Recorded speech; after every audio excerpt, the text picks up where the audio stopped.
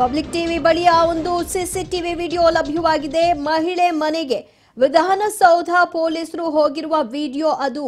ನಿನ್ನೆ ಬೆಳಗ್ಗೆ ಏಳು ನಲವತ್ತೆರಡಕ್ಕೆ ಪೊಲೀಸರು ಎಂಟ್ರಿ ಕೊಟ್ಟಂತಹ ದೃಶ್ಯ ನೀವು ಸ್ಕ್ರೀನ್ ಅಲ್ಲಿ ನೋಡ್ತಾ ಇದ್ದೀರಿ. ಎಕ್ಸ್ಕ್ಲೂಸಿವ್ ಆಗಿ.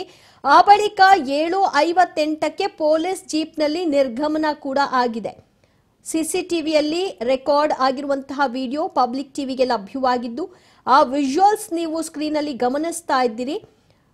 ಮೂವರು ಪೊಲೀಸ್ ಸಿಬ್ಬಂದಿಗಳು ಆಗಮಿಸ್ತಾರೆ.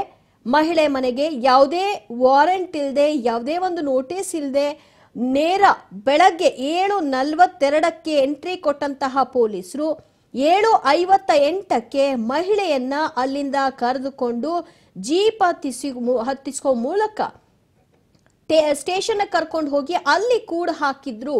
ಅಲ್ಲಿ ನನಗೆ ಒತ್ತಡ ಹೇರಿದ್ರು ಎಂಬ ಗಂಭೀರ ಆರೋಪವನ್ನು ಮಹಿಳೆ ಮಾಡಿದ್ರು. ಅದಕ್ಕೆ ಸರಿಯಾಗಿ ವಿಜುವಲ್ ಕೂಡ ಲಭ್ಯವಾಗಿದೆ. ಮತ್ತಷ್ಟು ಮಾಹಿತಿ ಪಡೆಯೋಣ ನಮ್ಮ ಪ್ರತಿನಿಧಿ ನಾಗೇಶ್ರಿಂದ. ನಾಗೇಶ್, ಪೊಲೀಸರು ಯೂನಿಫಾರ್ಮ್ ಅಲ್ಲಿ ಬಂದಿಲ್ಲ. ಒಂದು, ಮತ್ತು ಯಾವುದೇ ರೀತಿಯ ನೋಟಿಸ್ ಅನ್ನ ಕೂಡ ತೆಗೆದುಕೊಂಡು ಬಂದಿಲ್ಲ. ಹೇಗೆ ಒಬ್ಬ ಮಹಿಳೆ ಮನೆಗೆ ಹೀಗೆ ನುಗ್ಗಿ ಅವರನ್ನ ಬಲವಂತವಾಗಿ ಜೀಪ್ನಲ್ಲಿ ಕರ್ಕೊಂಡು ಹೋಗಿ ಠಾಣೆಯಲ್ಲಿ ವಿಚಾರಣೆಗೆ ಗಂಟೆಗಟ್ಟಲೆ ಕೂರಿಸ್ಕೊಳ್ಳಿಕ್ ಸಾಧ್ಯ? ಖಂಡಿತವಾಗ್ಲೂ ದಿವ್ಯಜ್ಯೋತಿ ಅದರಲ್ಲಿ ಮಹಿಳೆ ಏನು ಆರೋಪವನ್ನ ಮಾಡ್ತಿದ್ದಾರೆ, ಪೊಲೀಸರು ಅನಧಿಕೃತವಾಗಿ ನನ್ನ ಮನೆಗೆ ನಿನ್ನೆ ಬಂದು ಏಕಾಏಕಿ ಮಫ್ತಿಯಲ್ಲಿ ಬಂದು ನನಗೆ ಕರೆದುಕೊಂಡು ಬರ್ತಾರೆ. ಕರೆದುಕೊಂಡು ಬಂದು ವಿಧಾನಸೌಧ ಪೊಲೀಸ್ ಠಾಣೆಯಲ್ಲಿ ಬೆಳಗ್ಗೆಯಿಂದ ಸಂಜೆ ಎಂಟು ಗಂಟೆವರೆಗೆ ಅಲ್ಲಿ ಸಾಕಷ್ಟು ಕಿರುಕುಳವನ್ನ ಕೊಡ್ತಾರೆ. ಅದರಲ್ಲಿ ಪ್ರಮುಖವಾಗಿ ಒಂದು ಗಂಭೀರ ಆರೋಪವನ್ನ ಮಾಡ್ತಿರುವಂಥದ್ದು. ನನಗೆ ಈ ರೀತಿ ಕಾಂಗ್ರೆಸ್ ಅವರು ಮಾಡಲಿಕ್ಕೆ ಹೇಳಿದ್ದಾರೆ ಅನ್ನುವಂತ ನಿಟ್ಟಿನಲ್ಲಿ ನೀವು ರೀಟ್ವೀಟ್ ಅನ್ನ ಮಾಡಬೇಕು ಅನ್ನುವಂತ ಆರೋಪವನ್ನ ಮಾಡಿದ್ರು. ಅಂತ ಆ ಒಂದು ಆರೋಪವನ್ನ ಪೊಲೀಸರ ಮೇಲೆ ಹೇಳ್ತಿರುವಂತದ್ದು ಹಾಗಾಗಿ ಸಾಕಷ್ಟು ಸೆಟ್ಲ್ಮೆಂಟ್ ವಿಚಾರವಾಗಿಯೂ ಕೂಡ ಪೊಲೀಸ್ ಠಾಣೆಯಲ್ಲಿ ಅವರಿಗೆ ಕಿರುಕುಳವನ್ನು ಕೊಟ್ಟಿದ್ದಾರೆ ಅನ್ನುವಂತ ಗಂಭೀರ ಆರೋಪವನ್ನ ಮಾಡ್ತಾ ಇದ್ರು. ಆ ಒಂದು ವಿಚಾರಕ್ಕಾಗಿ ಯಾವುದೇ ರೀತಿಯ ವಾರೆಂಟ್ ಆಗಲಿ ಅವರಿಗೆ ನಿಮ್ಮ ಮೇಲೆ ದೂರಿದೆ ಅನ್ನುವಂತ ಒಂದು ಪ್ರತಿ ವಿಚಾರವನ್ನು ಕೂಡ ಹೇಳದೆ ನಿನ್ನೆ ಏಕಾಏಕಿಯಲ್ಲಿ ಮಪ್ತಿಯಲ್ಲಿ ಹೋಗಿ ಕರೆದುಕೊಂಡು ಬಂದು ವಿಚಾರಣೆಯನ್ನು ಮಾಡಿ ಮತ್ತೆ ಕಳಿಸಿಕೊಟ್ಟಿದ್ದಾರೆ ದಿವ್ಯಜ್ಯೋತಿ. ದಿವ್ಯ ಜ್ಯೋತಿ ಥ್ಯಾಂಕ್ ಯು ನಾಗೇಶ್ ನಿಮ್ಮೆಲ್ಲ ಮಾಹಿತಿಗೆ. ಇವಾಗಲೂ ಈ ಥರ ಬರ್ತಾ ಇರಲಿಲ್ಲ ನಾನು ಇಷ್ಟು ಕೇಸ್ ಮಾಡಿಕೊಂಡು. ನಾನು ಜಸ್ಟ್ ನ್ಯಾಯ ಕೇಳಿದ್ದು ನ್ಯಾಯ ಕೇಳಿದ್ದು ಎಲ್ಲರೂ ಕಣ್ಮುಂದೆನೇ ಇದೆ. ಅದು ಅಷ್ಟಕ್ಕೆ ಅವ್ರು ಏನು ಮಾಡಿದ್ರು, ನನಗೆ ನನ್ನ ಮನೆಗೆ ಇದ್ದಕ್ಕಿದ್ದಂಗೆ ಬೆಳಗ್ಗೆ ಏಳುವರೆಗೆ ನಾನು ಜಸ್ಟ್ ಇನ್ನೂ ಹಾಸಿಗೆಲೇ ಇದ್ದೀವಿ. ಆವಾಗಲೇ ಬಂದು ನನಗೆ ದಬ್ಬಾಳಿಕೆ ಮಾಡಿ ಒಂದು ಎಂಟು ಜನ ಬಂದಿದ್ದಾರೆ. ಅವರು ಎಲ್ಲ ಕರ್ಕೊಂಡು ಹೋಗ್ಬಿಟ್ಟು ನನಗೆ, ಮತ್ತೆ ನಮ್ಮ ಸೆಕ್ಯೂರಿಟಿ ಬಂದು ಹತ್ರ ಬಂದಿದ್ದಕ್ಕೆ ಯಾರು ಯಾಕೆ ಹೀಗೆ ಕರ್ಕೊಂಡು ಹೋಗ್ತಿದ್ದೀರಾ ಅಂದ್ರೆ ಅವ್ರಿಗೆ ಹೊಡಿಯಕ್ ಹೋಗಿದ್ದಾರೆ. ಅಲ್ಲ ರಾಜ್ಕುಮಾರ್ ಎಂ ಎಲ್ ಹೊರಟಿದ್ದಾರೆ. M L A Rajkumar Patil ಇದ್ರಲ್ಲ ಅವ್ರ ಮೇಲೆ ನೀವು ಆರೋಪ ಮಾಡ್ತಾ ಇದೀರಾ ಅವ್ರು ಹೇಗ್ ಪರಿಚಯ? ಎಷ್ಟು ವರ್ಷದಿಂದ ಪರಿಚಯ? ಚೈಲ್ಡ್ಹುಡ್ ಇಂದ ಪರಿಚಯ. ಒಂದ್ ನಿಮಿಷ ಒಂದ್ ನಿಮಿಷ ಒಂದ್ ನಿಮಿಷ ಪ್ರಶ್ನೆ ಕೇಳ್ಬಿಡಿ ಒಂದ್ ನಿಮಿಷ. ಹೇಳಿ ಹೇಳಿ. ಹಾ. ಕರ್ಕೊಂಡು ಹೋಗ್ಬಿಟ್ಟು ನಿನ್ನೆ ಏಳುವರೆಯಿಂದ ರಾತ್ರಿ ಒಂಬತ್ ಗಂಟೆವರೆಗೂ ವಿಧಾನಸ ವಿಧಾನಸೌಧ ಪೊಲೀಸ್ ಸ್ಟೇಷನ್ ಅಲ್ಲಿ ನನಗೆ ತುಂಬಾ ಟಾರ್ಚರ್ ಆಗಿದೆ. ನನ್ ನನಗೆ ಇಲ್ಲಾಂದ್ರೆ ನಾನು ಈ ಮೀಡಿಯಾಗೆ ಬರ್ತಾನೆ ಇರಲಿಲ್ಲ. ಎಲ್ಲರೂ ಅಷ್ಟೇನೆ. ದಯವಿಟ್ಟು ನನ್ನ ನಿಮ್ಮ ಮನೆ ಮಗಳ ಅನ್ಕೊಳ್ಳಿ. ನನ್ಗೆ ಎಲ್ಲರ ಹತ್ರ ನಾನು ನ್ಯಾಯ ಕೇಳ್ತಾ ಇದ್ದೀನಿ, ಜನಗಳ ಹತ್ರ ನಾನು ನ್ಯಾಯ ಕೇಳ್ತಾ ಇದ್ದೀನಿ. ಇದು ಮಾಡಿದ ಸರಿನಾ ಅವರು? ನಾನು ಜಸ್ಟ್ ನ್ಯಾಯ ಕೇಳಿದ್ರೆ ಅವ್ರು ನ್ಯಾಯ ಕೊಡಬೇಕಿತ್ತು ಮಗುಗೆ. ಇಲ್ಲ, ಅವರು ಲೀಗಲ್ ಆಗಿ ಬರ್ಬೇಕಿತ್ತು. ಯಾವುದು ಇದ್ದಕ್ಕಿದ್ದಂಗೆನೆ ಆ ಥರ ನನ್ನ ಮೇಲೆ ಪೊಲೀಸವರು ತುಂಬ ಕೆಟ್ಟದಾಗ ನಡ್ಕೊಂಡ್ಬಿಟ್ರು. ಏನು ಕೇಸ್ ಇಲ್ಲ, ಏನೂ ಇಲ್ಲ. ನನ್ನ ಯಾಕೆ ಇಡೀ ದಿನ ಕೂರಿಸ್ಕೊಂಡ್ರು? ನನ್ನ ನನ್ನ ಮಕ್ ನನ್ನ ಮಕ್ಕಳು ಅಲ್ಲಿ ಮಲ್ ಮನೆಯಲ್ಲಿ ಮಲಗಿರೋರಿಗೆ ಹಾಗೆ ಎದ್ದೋಗಿದ್ದೀನಿ ನಾನು. ಅವ್ರಿಗೆ ಬೆಳಿಗ್ಗೆಯಿಂದ ರಾತ್ರಿ ತನಕ ಊಟನೂ ನಾನು ಕೊಡೋಕ್ಕಾಗಿಲ್ಲ ನಾನು. ರಾತ್ರಿ ಒಂಬತ್ತು ಗಂಟೆಗೆ ಬರೋವರೆಗೂ ನನ್ನ ಮನೆ ಪರಿಸ್ಥಿತಿ ಏನಾಗಿರುತ್ತೆ ಹೇಳಿ. ಮೇಡಮ್ ನಿಮಗೂ ಶಾಸಕರಿಗೆ ಏನ್ ಮೇಡಮ್ ಸಂಬಂಧ? ಸರ್ ಎಲ್ಲ ನಮ್ಮ ಸರ್ ಮಾತಾಡ್ತಾರೆ ಸರ್. ಅಲ್ಲ ಆಲ್ರೆಡಿ ನಾನು ಆಲ್ರೆಡಿ ಹೇಳಿದ್ದೀನಿ ಸರ್. ಅಲ್ಲ ಯಾವಾಗಿಂದ ಪರಿಚಯ? ಶಾಸಕರು ನಿಮ್ಗೆ ಸರ್ ನಾವು ಚೈಲ್ಡ್ಹುಡ್ ಇಂದಲೂ ಪರಿಚಯ ಸರ್. ಚೈಲ್ಡ್ಹುಡ್ ಇಂದ ಪರಿಚಯ? ಪರಿಚಯ ಸರ್. ಹಾ ಸರ್. ಅಂದ್ರೆ ನಿಮ್ಮ ಮೇನ್ ಆರೋಪ ಏನು ಮೇಡಮ್ ಈಗ? ನಿಮ್ಮ ಮಗು ಅವ್ರದ್ದು ಅಂತ ಒಪ್ಕೊಳ್ಬೇಕು ಒಪ್ಕೊಳ್ಬೇಕು.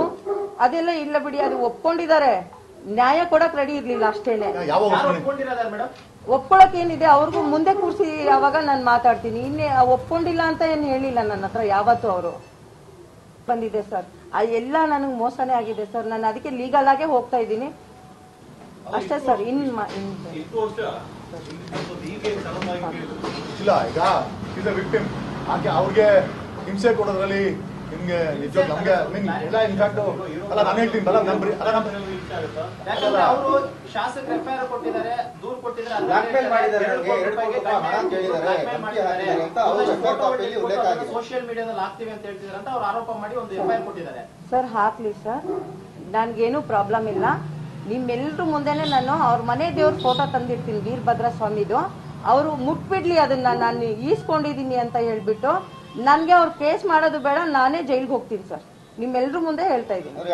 ಪ್ರೂವ್ ಮಾಡ್ಲಿ ಸರ್ ನಾನು ಇಸ್ಕೊಂಡಿದ್ದೀನಿ ಅಂತ.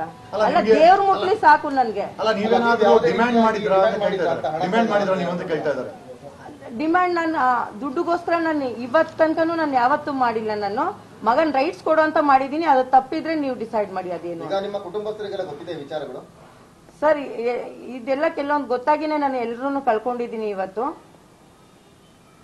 ಏನ್ ಮಾಡಕ್ ಈಗ ಮುಂದಿನ ನಡೆ ಏನ್ ಮೇಡಮ್ ನಿಮ್ದು ಈಗ ವಾಕ್ಯ? ಸರ್ ನಾನು ಲೀಗಲ್ ಸರ್ ನೋಡ್ಕೋತೀವಿ. ಪೊಲೀಸ್ ಕಮಿಷನರ್ಗೆ ನಿನ್ನೆ ಈತ ಮತ್ತೆ ಪೊಲೀಸ್ ವಿಧಾನಸೌಧ ಪೊಲೀಸ್ ಅವರು ಅವ್ರ ಮನೆಗೆ ನುಗ್ಗಿದ್ದಾರೆ. It's illegal trespass without any notice without any warrant without any F I R ಆಮೇಲೆ ಒಂದ್ಸತಿ ಯಾರ್ಗಾನ ಅರೆಸ್ಟ್ ಮಾಡ್ಬೇಕಾಗೆ ತಗೊಂಡೋಗ್ಬೇಕಾದ್ರೆ ಹೋಗ್ಬೇಕಾದ್ರೆ ಕೂಡ ತಿಳಿಸ್ಬೇಕು ಇಂಟಿಮೇಷನ್ ಮಾಡ್ಬೇಕಾಗತ್ತೆ. ಇಮಿಡಿಯೇಟ್ ಇಂಟಿಮೇಷನ್ ಟು ಸಂಬಡಿ ಯಾರಿಗೂ ಇಂಟಿಮೇಟ್ ಮಾಡಿಲ್ಲ. ಅಲ್ಲಿ ಅಪಾರ್ಟ್ಮೆಂಟ್ ಅಲ್ಲಿ ಆ, ಇವ್ರಿಗೆ ಸೆಕ್ಯೂರಿಟಿಗೆ ಏನೋ ಸಬ್ ಇನ್ಸ್ಪೆಕ್ಟರ್ ಹೊಡೆದಿದ್ದಾರೆ. ಆಮೇಲೆ ಇವ್ರನ್ನ ಇವ್ರನ್ನ ಇವ್ರ ಮನೆಯಿಂದ ಎಂಟೈರ್ ಫ್ಯಾಮಿಲಿನ ಮಕ್ಕಳನ್ನ ಬಿಟ್ಟು ಮೂರ್ ಜನ ಮಕ್ಕಳನ್ನ ಅಲ್ಲೇ ಬೆಡ್ ಮೇಲೆ ಬಿಟ್ಟು ಅನಾಥರಾಗಿ ಅನಾಥವಾಗಿ ಮಾಡಿ ಈಕೆಯನ್ನ ಕಿಡ್ನಾಪ್ ಮಾಡಿದಾರೆ ವಿಧಾನಸೌಧ ಪೊಲೀಸ್ ಅವರು ಇವನ್ ನನ್ನ ಮನೆಯಲ್ಲಿ ಎಂಟ್ರಿ ಆಗಿದ ತಕ್ಷಣ ನನ್ನ ಮೊಬೈಲ್ ಒಂದು ಕಡೆಯಲ್ಲಿ ಮಹಿಳೆ ಗಂಭೀರವಾಗಿ ಆರೋಪ ಮಾಡ್ತಾ ಇದ್ದಾಳೆ ಮಗು ರಾಜ್ಕುಮಾರ್ ತೆಲ್ಕೂರ್ದೆ. ನನಗೆ ನ್ಯಾಯ ಬೇಕು, ಮಗು ತನ್ನದೇ ಅಂತ ಒಪ್ಕೊಂಡಿದ್ದಾರೆ, ಅದರಲ್ಲಿ ಎರಡು ಮಾತಿಲ್ಲ. ಆದರೆ ಅದನ್ನ ಈಗ ತಿರುಚುವ ಪ್ರಯತ್ನ ಮಾಡಲಾಗ್ತಾ ಇದೆ.